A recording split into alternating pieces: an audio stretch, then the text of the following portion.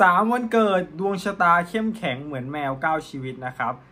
เจอเรื่องหนักๆเท่าไหร่เนี่ยก็สามารถพลิกฟื้นกลับมาดีได้ตลอดมีสิ่งศักดิ์สิทธิ์คอยช่วยเหลือ อย่าลืมกด subscribe และกดกระดิ่งด้วยนะครับ สวัสดีครับ ยินดีต้อนรับเข้าสู่ช่องซันพิดิกนะครับสำหรับในคลิปคลิปนี้เนี่ยเราจะมาดูดวงชะตากันนะครับ คนที่เกิดใน 3 วันเกิดต่อไปนี้นะครับ ดวงชะตาเนี่ยค่อนข้างเข้มแข็งเหมือนแมว9ชีวิตนะครับ เจอปัญหาเจออุปสรรค เจอเรื่องแย่ๆ เจอเรื่องอะไรมาเท่าไหร่เนี่ย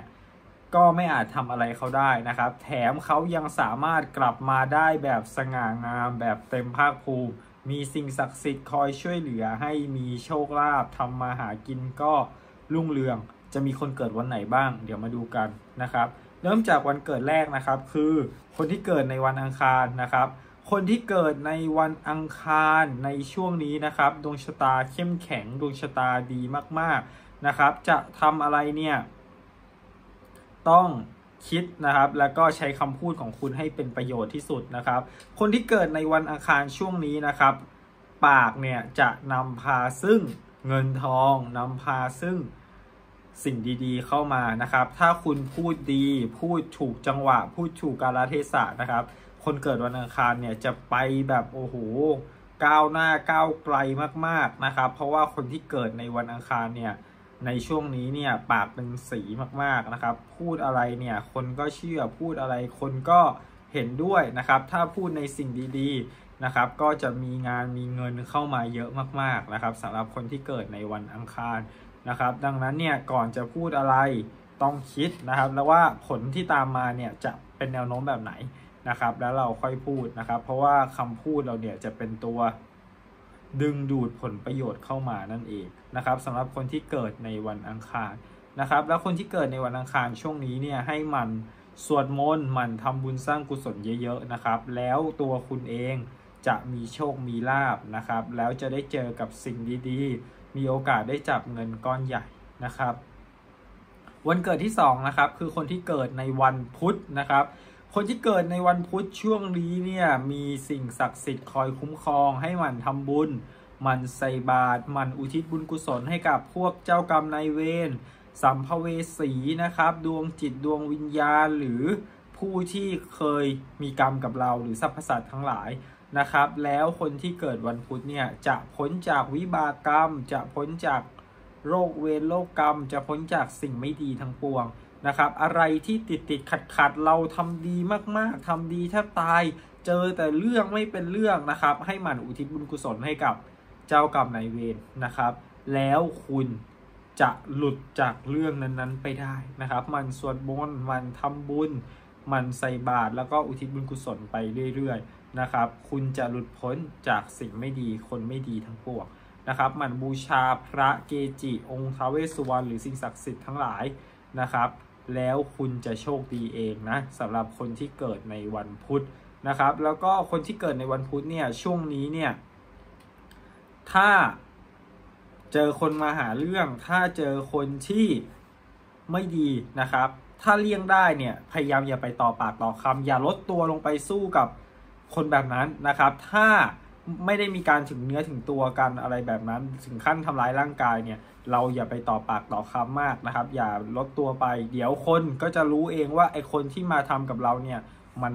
ไม่ใช่คนดีนะ มันเป็นฝ่ายผิดนะครับ ฉะนั้นคนที่เกิดวันพุธช่วงนี้เนี่ย ถ้าเกิดปัญหาอะไรเนี่ย ก็ถ้าเลี่ยงได้ก็เลี่ยงนะครับ ไม่ต้องปะทะนะครับ เดี๋ยวมันจะแพ้ภัย เดี๋ยวมันจะเจอกับเรื่องไม่ดีไปเองนะครับ วันเกิดที่3นะครับ ก็คือคนที่เกิดในวันศุกร์นะครับ คนที่เกิดในวันศุกร์ช่วงนี้ดวงชะตาก็เข้มแข็งนะครับ เหมือนแมวก้าวชีวิตนะ เจออุปสรรคปัญหาเท่าไหร่นะครับ ไม่เคยกลัวนะครับ เดี๋ยวก็ฟื้นคืนชีพขึ้นมาลุยต่อนะครับ แถม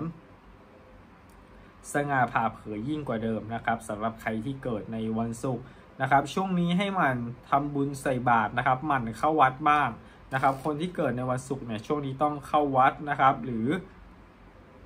ทำบุญกับสิ่งศักดิ์สิทธิ์นักบวชนะครับ หรือไปไหว้พระที่ต่างๆบ้างนะครับ จะช่วยเสริมให้ดวงชะตาคุณเข้มแข็งนะครับ มีผู้หลักผู้ใหญ่คอย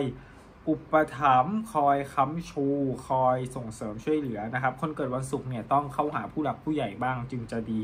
นะครับ ถ้าไม่เข้าหาผู้หลักผู้ใหญ่เลยเนี่ยบางทีเหมือนกับว่าคนที่ไม่เคยเห็นหน้ากันเนี่ยก็ไม่รู้จะช่วยยังไงเหมือนกันนะครับ ต้องเข้าหาผู้หลักผู้ใหญ่บ้างสำหรับคนที่เกิดใน วันศุกร์นะครับ มันดูแลพ่อแม่ครูบาอาจารย์ แล้วก็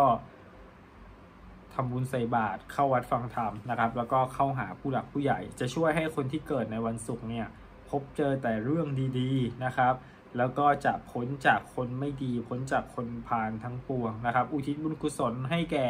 สิ่งศักดิ์สิทธิ์เทพพยดาที่คุ้มครองตัวเราอยู่ นะครับทำให้องค์เทพที่ดูแลเราอะมีอิทธิฤทธิ์นะครับ แล้วจะช่วยให้เราเนี่ยเจอทางสว่าง เจอทางที่ใช่ เจอทางที่ถูกต้องได้นะครับ ฉะนั้นนะครับคนที่เกิดใน 3 วันเกิดนี้นะครับอ่าอังคารพุธแล้วก็ศุกร์ในช่วงนี้เนี่ยต้องหมั่นทำบุญหมั่นสร้างกุศลหมั่นช่วยเหลือผู้อื่น เท่าที่เราจะช่วยได้ เท่าที่เราจะช่วยไหวนะครับ ก็ อะไรที่เราไม่ไหวจริง ๆ ก็ต้องปล่อยนะ อะไรที่เราพอไหวนะครับ พอทำได้ไม่เหลือบากกว่าแรง ต้องช่วยนะครับ จึงจะดีนะครับ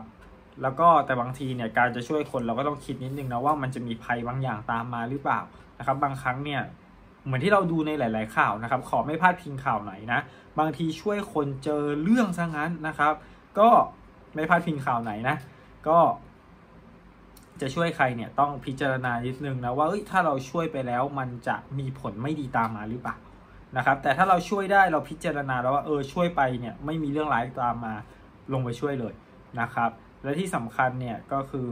ผมจะบอกตลอดนะว่าเราพยายามอย่าช่วยคนเกินตัวนะครับ เพราะถ้าเกินตัวแล้วจิตคุณเนี่ยมันมีแวบหนึ่งที่มันคิดว่าโอ๊ยไม่น่าช่วยเขาเลยนะครับ มันจะมีผลในภายหลังนะครับทำให้ ในอนาคตการข้างหน้าหน้าหรือหน้าหน้าเลยนะครับ อาจจะได้รับผลบุญไม่เต็มที่นะทำให้ไม่ได้สุขสบายมากเท่าที่ควรนะครับ แต่ถ้าเราไม่ช่วยใครเลย อนาคตก็จะไม่มีใครมาช่วยเราเหมือนกัน ฉะนั้นเนี่ยช่วยคนดีกว่านะ แต่อย่าฝืนตัวเองนะครับ เอาที่คุณพอไหวก็พอนะครับ โอเค วันนี้ขออนุญาตแบ่งปัน 2 วัตถุมงคลนะครับ วันนี้ได้มาอีกหนึ่งนะเป็นหลวงพ่อสนองรุ่นมงคลบารมีนะครับ ได้มาอีกหนึ่งองค์นะครับ อ่า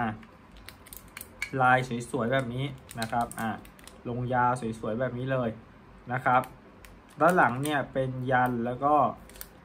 รู้สึกจะเป็นหูป่านะสองตัวนี่เห็นไหมครับอ่าสวยๆแบบนี้เลยนะครับ ไม่ได้มีมาบ่อยนะครับ ใครอยากได้นะครับ ทักมาได้ที่ทาง Facebook Fanpage นะครับซันพิดิกได้เลยนะครับ ของดีมีแบ่งปันนะครับอะอีกองค์หนึ่งนะครับ เป็นเหรียญ ท้าเวสุวรรณรุ่นคลังสมบัติหลวงพ่อพัดนะครับเหรียญนี้สีแดงนะครับโอ้โหสีแดงท้าเวสุวรรณองค์สีแดงหายากนะครับนี่นี่ให้ดูสวยๆครั้งๆแบบนี้นะครับ ไม่ได้มีมาบ่อยนะครับอ่าใครอยากได้นะ ทักมาทางเพจได้เลยซันพิดิกนะครับ ของดี มีไม่เยอะนะครับ นี่นี่ใครอยากได้ทักมาได้เลย โอเคก็สำหรับคลิปนี้ประมาณนี้นะครับ อย่าลืมกดติดตาม กด subscribe กดกระดิ่งให้กันด้วย ไว้เจอกันใหม่คลิปหน้าและคลิปถัดไปนะครับ สวัสดีครับ